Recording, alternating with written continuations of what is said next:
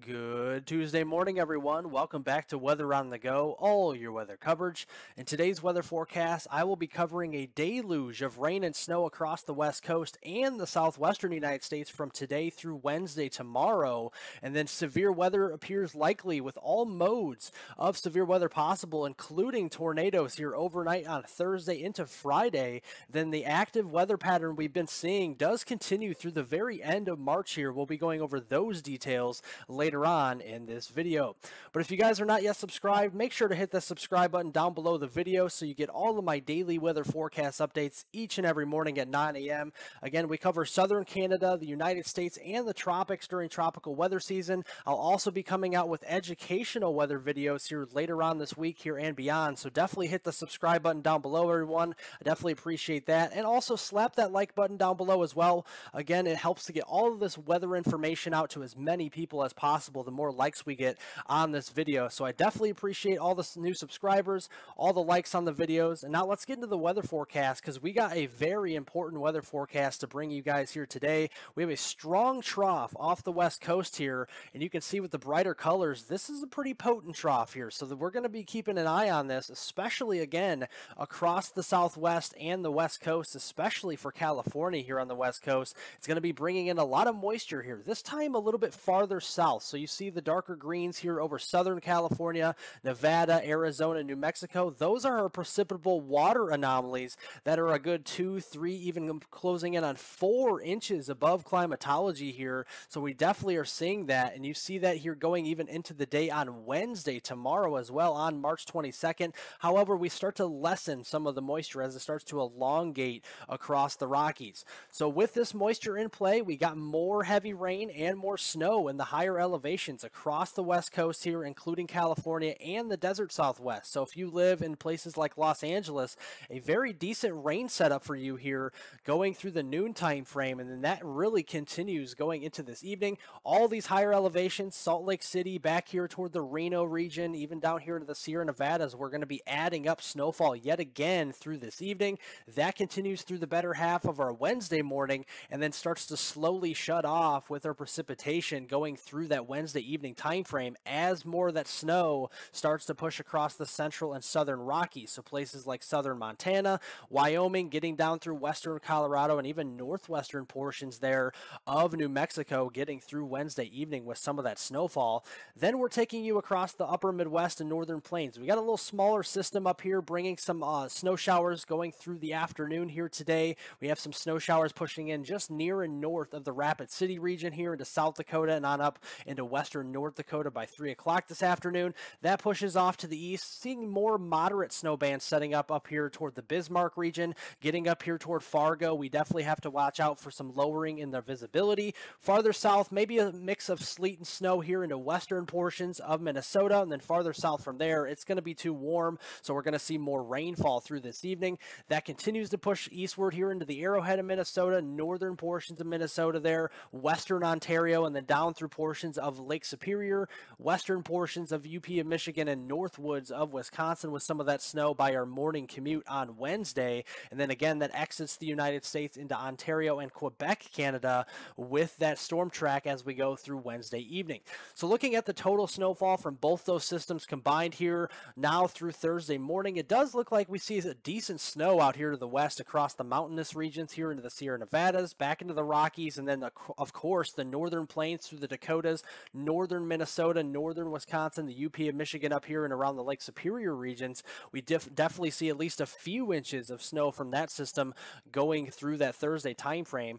But looking at the southwest and the Sierra Nevadas here, our seasonal snowfall accumulation all the way back from uh, now all the way back to September 30th of 2022, we've had over 600 inches here uh, up here into portions of the highest elevations of the Sierra Nevadas, and, and in particular 607 7.9 inches in a couple of these areas. And we're going to be adding up another two, three, four feet to this as we go through the next 48 to 72 hours. So definitely going to be seeing some decent snows yet again, adding to those totals that we've seen on the year. Not only though for the Sierra Nevadas, but also for much of eastern uh, Nevada here into places like the Salt Lake City region, western Colorado. A lot of these higher elevations will be seeing over a foot, if not over two feet of snow going through that Thursday time frame. Moving up across the Pacific Northwest now, uh, many of these areas seeing six plus inches, even some fo- uh, one foot totals up here, even in towards portions of western Wyoming, eastern Idaho, getting into southern portions there. Montana, maybe a couple of inches of snow. Northern Nevada, maybe a few inches of snow there as well. And then that smaller system up here across the Dakotas, northern Minnesota, here into northern Wisconsin, mainly a three to six inch snowfall event, but maybe some isolated seven inch totals. Um, so we'll definitely be watching out for that going through that Thursday time frame. Might have to break out the shovels and the snow blowers and even the plows out there across these areas going through that time frame. And again, with the travel out there, do take it easy. We have those minor to moderate impacts, and then as you go up in elevation across the Rockies and across the Sierra Nevada mountain range here into California, you're going to see more of those major to extreme travel impacts. So do take it slow out there. Definitely stay safe. And again, looking at the rainfall accumulation from the system, we're going to start to see more of that heavy rain approaching portions of the west coast there, including coastal California, getting into the desert southwest here, and in particular the Los Angeles region. We could be picking up two to as much as four inches of rain here for uh, Los Angeles, down here towards uh, San Diego, Tijuana, Mexico, getting all the way up toward the San Francisco region. Even some heavier rainfall down here toward Vegas or even portions of southern Utah, Flagstaff, farther south toward the Phoenix region, at least the northern side of Phoenix. We could be seeing one to as much as three inches of rain through Thursday. And this is going to cause some flooding concerns. So from today into tomorrow, we're watching two areas for flooding. Our main area here with that red shaded color, that's a moderate risk for flash flooding. This does include the downtown area of Los Angeles and then down here across the San Diego region. And then a secondary area with a slight risk for flash flooding near and just north of Phoenix there into central Arizona as we head through the day today and into the day on Wednesday. Then as we go into Wednesday and Thursday time frame, we still have those both those areas with a lingering marginal risk for flash flooding with some of that runoff and some slight additional rainfall chances going through the middle and toward the end of the week. So we'll continue to watch the flash flooding threat across those areas. But as the storm system and its energy starts to push farther to the east, we're going to see this cross country storm take shape and we're going to see a heavy rain setup here. We're going to have more of a stationary boundary try to set up across the Ohio Valley and the Missouri Valley on Wednesday. To the north of the boundary, we're going to see some snowfall with the colder air. Right along and south of the boundary, we're going to have more showers shower storms and even some severe weather going through the middle and end of this week. So, uh, showing you the setup on Wednesday. Again, you can see clearly where that boundary sets up here. Right along the boundary, temperatures will be averaging around the middle 50s. South of the boundary, we have all those warm, humid conditions. Temperatures will be warming up into the 60s, 70s, even middle 80s down here across much of Texas into western Oklahoma. But north of the boundary, we're going to see more snow showers and wintry precipitation with temperatures into the 20s and 30s. So looking at the setup, how, however, particular with the severe weather, we have the dew points. Again, we have the uh, open waters of the Gulf of Mexico. Dew points will be rising through the 60s and approaching 70 degrees at times in coastal California here on Wednesday, making it very sticky out there. And again, starting at 3 o'clock on Wednesday afternoon, very quiet up here across the Missouri Valley and the Illinois Valley. But as we go through the mid evening hours, we'll start to spark some showers and storms, at least on an isolated uh, coverage here across the Chicagoland area, northern Indiana, back in toward the Quad Cities here in Davenport, Iowa.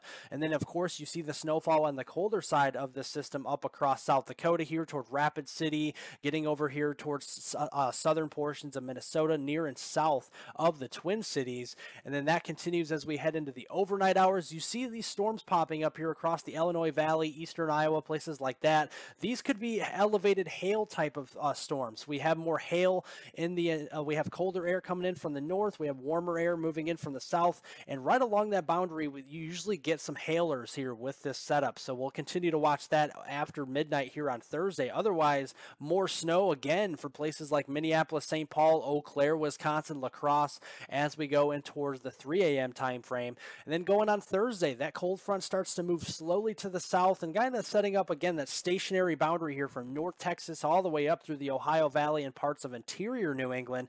And again, we have that parent system with that trough starting to kick across portions of the desert southwest into West Texas on Thursday And this will start to set up more of an isolated to scattered type of severe weather setup on Thursday, especially overnight. There's a marginal and slight risk for severe storms in the dark green with the slight risk in the yellow here. This covers mainly the Red River here into southern Oklahoma through portions of central Texas. This includes the DFW Metroplex on westward toward Wichita Falls, the Denton region, Sherman, Texas here, and just near and south of the Oklahoma City metro region. All modes of severe weather will be possible, but I do suspect damaging winds and large hail will be the main modes with an isolated brief tornado possible, especially here with the unfavorable time of day. I'm not expecting a lot of tornadoes with this setup, but you see at noon time frame here on Thursday, a couple of thunderstorms sparking here from the Tulsa region on up through Joplin, Missouri, places like that, up there towards Springfield, maybe some heavier rain up here across the Ohio Valley. As we get deeper into the day on Thursday, so say 6, 7, 8 o'clock, we're going to start to see more showers and storms develop more numerously here across the Indianapolis region, southern portions of Illinois, and getting through the Missouri Valley here into southern Missouri, and some heavier, stronger storms possibly lining up there into the Tulsa region, and then starting to develop that farther back to the southwest toward the Red River and toward Wichita Falls by 6 o'clock.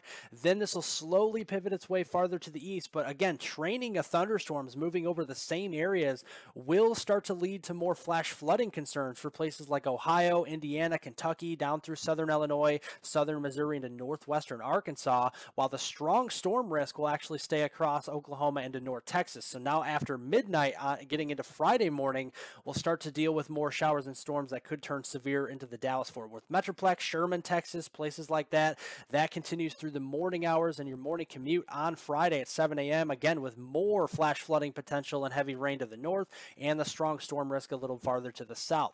So looking at the heavy rainfall threat, the total rainfall accumulation just for Thursday, March 23rd and Friday, March 24th, you see a very narrow zone right along that stationary boundary or that slow moving cold front in the purple shaded color here. That's at least two inches worth of rain. In some of these areas, we could even see localized amounts over two inches of rain here if we have some heavier thunderstorms than some of the models do show. And that does cause concern for a widespread zone for flash flooding from western Pennsylvania all the way southwest to the DFW DFW Metroplex here into northern and northeast Texas on Thursday into Friday, with even a slight risk extending from western Ohio through Indiana, Illinois, western portions of Kentucky, Missouri, getting into northern Arkansas and eastern Oklahoma. We have to watch out for some scattered flash flooding there.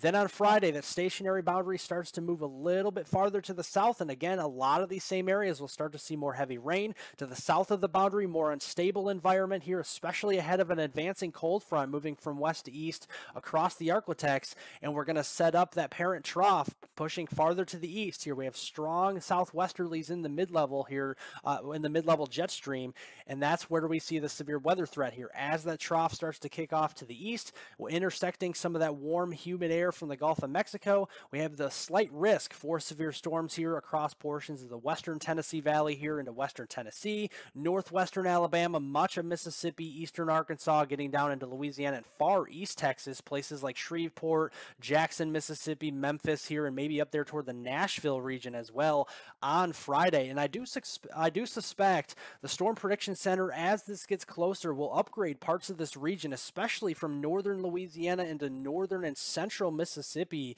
um, is the area of concern where we could see an enhanced risk upgrade from the Storm Prediction Center as this does get closer, because you do see a strong squall line of storms producing widespread damage damaging winds, large hail, and perhaps a few QLCS tornadoes along the leading edge of this line of storms. Of course, we got to watch out for storms that do develop ahead of the main line. Those are called supercells, and that could happen as we go through the evening and overnight hours going into Saturday morning. A little bit of a deformation snow band setting up here across southern and central Wisconsin, back into eastern and central Iowa from Des Moines through Prairie du Chien, Madison, Wisconsin, on up there toward Green Bay. Not much to deal with with that setup here. We'll get to that in a moment, but then that spread spreads up there into southeastern Canada with the snow line, but we start to eat away at some of the precipitation across the eastern United States on Saturday afternoon as this cold front becomes a little less defined by that time frame. So looking at the snowfall potential, again, these are our potential snowfall accumulations. This will likely change a little bit, but you do see a general one to three inch of snow event here across portions of Iowa, southern and central Wisconsin, far northern Illinois, just west of the Chicagoland area, and then getting across the upper Great Lakes into southern portions of Ontario, Canada. And again, I do suspect this is going to be a little bit overdone because the temperatures will be so marginal. We're going to have upper 20s to mid 30s for temperatures up here, and the days prior will actually be in the 40s and 50s. So I think the ground will be too warm for a lot of this to accumulate. So I think maybe a dusting to an inch out of this across a lot of these areas I did show you from Iowa through Wisconsin and Michigan and northern Illinois will be probably more of a dusting to an inch of accumulation with that system.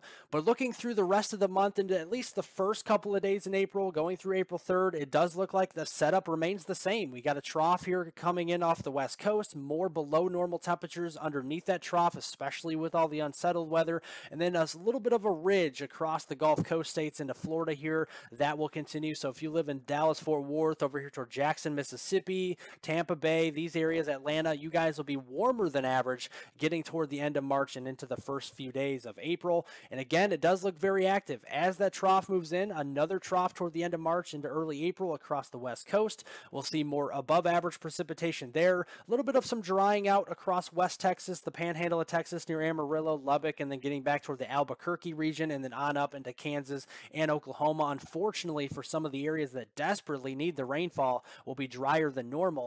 And then again, that secondary trough we're watching this week, that will be kicking out across the Northeast and off the East Coast by the time we get into the end of the week here into next weekend. And that's where we'll see above average precipitation from the Great Lakes down through the Mid Atlantic, the Tennessee Valley, and the Northeast going through April 3rd. Well, thank you guys so much for watching. I definitely appreciate it. If you guys like this video, press the thumbs up down below. Leave any comments, questions, and concerns below. I'll get to those later on today. Subscribe to the YouTube channel if you're new and hit the notification notification bell to get all of my daily weather forecast updates on this channel. Have a great Tuesday, everybody, a great rest of your week, and I will see you all in the next video.